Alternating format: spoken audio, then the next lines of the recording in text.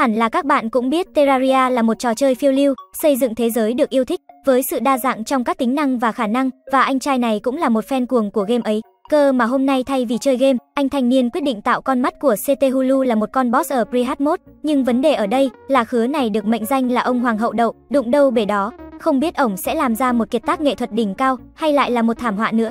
Chưa kịp liên thuyên đã cái mồm thì anh liền bắt tay vào công việc. Đầu tiên anh vo giấy bạc thành một cục rồi lấy đất sét bao quanh phía bên ngoài để giúp nó trông vững chắc và bền bỉ hơn. Tiếp theo, anh lôi hết giấy bạc ra bên ngoài rồi dùng dao khoét một lỗ trên cục đất sét ấy. Khi đã khoét xong, anh trai cho một phần đất sét khác vào bên trong tiếp và lắp khoảng trống lại. Kế đến, anh dùng một cây chuyên dụng để đục đục, mài mài những cái lỗ bên trong. Nhìn thôi là đủ thấy quái dị rồi, không biết ổng tính làm cái trò mèo gì để bán cho người ta. Khi đã khoét xong những cái lỗ, anh lại dụng một phần đất sét khác để mở rộng món đồ độc lạ kia ra. Tưởng chừng đâu bao nhiêu đó là đủ quái dị, nhưng không nha anh em. Anh trai lại xoa xoa nắn nắn những cục đất sét thành hàm răng nhọn. Khi đã nặng xong chúng, thì anh trai dùng nó để gắn vào con sinh vật độc lạ Bình Dương kia. Từng cái răng được anh ta gắn vào, trông vô cùng khéo léo và tỉ mỉ, đến nổi trông không khác gì hàng thật luôn. Kế đến, anh trôm luôn cái đồ mài móng tay, để mài cái đầu của con yêu quái trở nên bóng loáng. Đầu thì không có nổi một cọng tóc, mà mài cho bóng chi vậy trời. Tưởng đâu là mài cái đầu cho bóng loáng, ai dè anh trai này mài để gắn tóc vào cho yêu quái kia. Anh dùng những cục đất sét màu đỏ, rồi cho lên trên đầu của con yêu quái.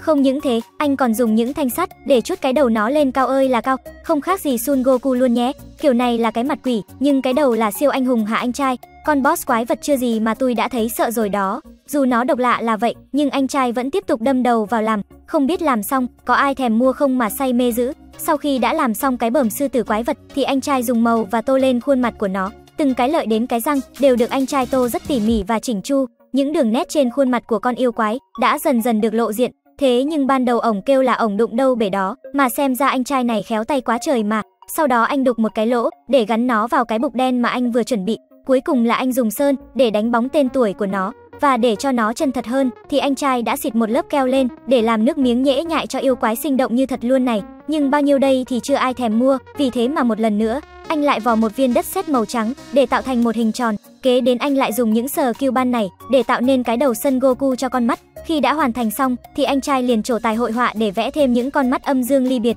Với bàn tay điêu luyện nhưng luôn tự nhận là hậu đậu, thì anh trai hoàn hảo tạo ra một số con mắt khác. Cuối cùng để có thể hoàn thành kiệt tác này, thì anh trai cấm nó vào thanh sắt rồi cho tất cả chúng lên trên bục. Lúc này mọi thứ đã được hoàn thành. Đúng là nhìn y như con boss trong game thiệt luôn. Nếu các bạn là một tính đồ mê game Terraria, thì con mắt của CT Hulu chắc hẳn không xa lạ phải không nào? Chuyện là anh trai Tony đang trên đường tung tăng về nhà, thì bị vấp phải một thứ gì đó nằm sâu trong đống cắt. Với bản tính nhiều chuyện vốn có thì chẳng một chút sợ hãi anh gạt hết lớp cát ra ngoài và ngay trước mắt anh lúc này chính là một cái hầm đầy bí ẩn. Vì thế mà anh ta nhấc nắp hầm lên và phát hiện ra ba quả pháo. Không biết đây là kho báu của khứa nào mà giấu kỹ dữ vậy nữa. Thế là Tony móc trong túi ra một cái bật lửa, sau khi đặt pháo bên dưới, thanh niên túm quần túm áo mà chạy ra để giữ mạng. Ngay sau khi anh chạy đi thì sức công phá của pháo đã khiến nắp hầm bay lên bầu trời. U là trời thiệt chứ, cái khúc mà ổng móc bật lửa ra là tôi đã nghi nghi rồi. Thật là đúng như tôi nghĩ, thanh niên này cũng báo lắm nè. Vì thế mà anh lại tiếp tục chăm lửa quả pháo thứ hai, rồi cũng không khác gì mấy. Sau khi lửa được đốt lên thì một lần nữa nắp hầm lại văng lên không trung, nhưng lần này là bay cao và xa hơn lần trước. Dù vậy mọi thứ vẫn chưa si như gì mấy, bởi ngay lúc này Tony quyết định đốt quả pháo cuối cùng và không ngoài dự đoán, vì nó không chỉ bay cao bay xa mà còn xảy ra một trận động đất chấn động, bốc lửa ở xung quanh. Cái nắp hầm nó mà biết nói thì chắc nó cũng chửi trên đầu trên cổ thanh niên Tony này rồi. Đang sống yên ổn cái nó tới là thấy cuộc sống bất ổn ngang. Giờ đây còn bất ổn hơn, vì thường là chỉ bay cái nắp, giờ nó bay luôn cả cái hầm. Thanh niên này là thuộc dạng báo, có đẳng cấp luôn đây mà. Khi đã báo xong, Tony tiếp tục đi về nhà thì lại gặp thêm những đồ vật hết sức là độc lạ. Dường như số trời đã sắp đặt để cho anh có thể gặp được nó. Đầu tiên là với một trái dưa hấu, Tony bắt đầu khoét phần đầu của nó ra, kế đến là anh dùng pháo để cho vào bên trong. Không nói thì cũng biết, sau khi anh ta chăm lửa vào thì ối rồi ôi thôi rồi lượm ơi. Ngay lúc này quả dưa hấu như một trái bom hẹn giờ, khi hết giờ thì một cái bùm, mọi thứ đã bị vỡ nát. Chưa đã cái nư, Tony chuyển qua một mớ đá to đến nổi, cục nào cục nấy quăng muốn lòi não ra ngoài luôn. Dù biết là thế, nhưng anh vẫn quyết định ôm hết chúng ra, rồi châm lửa và bỏ chạy. Khi anh bỏ chạy thì quả pháo kia đã bắt đầu bốc khói và nổ loạn xạ, lực công phá lớn đến nổi, làm vỡ hết tất cả những cục đá bạ trà bứ kia luôn kìa trời. Nhìn cái màu này là biết khứa Tony dân chơi thứ thiệt rồi, đưa cái gì ổng cũng xào trộn được hết.